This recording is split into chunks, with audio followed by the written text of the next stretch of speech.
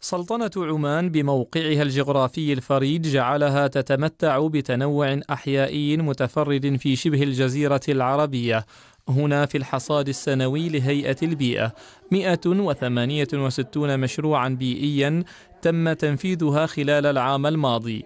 مشاريع جميعها تبرز الجهود الوطنية لصون البيئة التي تضمن استدامتها للأجيال القادمة. العديد من المشاريع التنفيذية البيئية نفذت في مختلف المجالات البيئية بدءا ببنك الجينات ومرورا كذلك بمسح البيئة البحرية لضمان خلوها من الملوثات الصناعية ومتبقيات الميكرو بلاستيك كذلك المساحات البيئية للتنوع الحيوي النباتي والحيواني. كذلك المساحات في محافظة ظفار للغطاء النباتي من إجمالي مساحة اليابسة. وحقيقة العديد من المشاريع في مجالات التحول الرقمي وكذلك في تمكين الرقابة والتفتيش البيئي.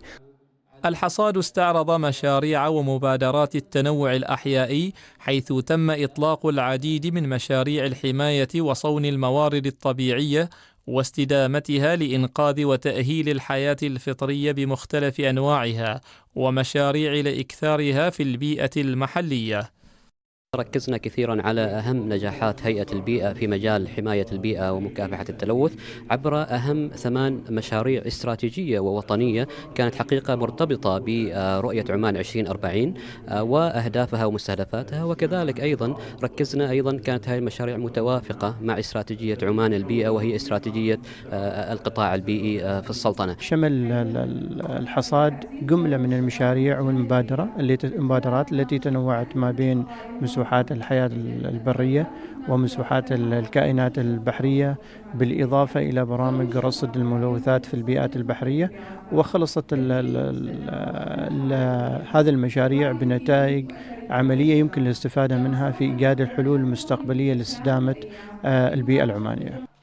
المؤتمر الصحفي الذي صاحب الحصاد السنوي أشار إلى أن عدد المخالفات البيئية مقارنة بعدد السكان يعد ضئيلا جدا ما يعكس مدى الوعي المجتمعي بأهمية صون البيئة.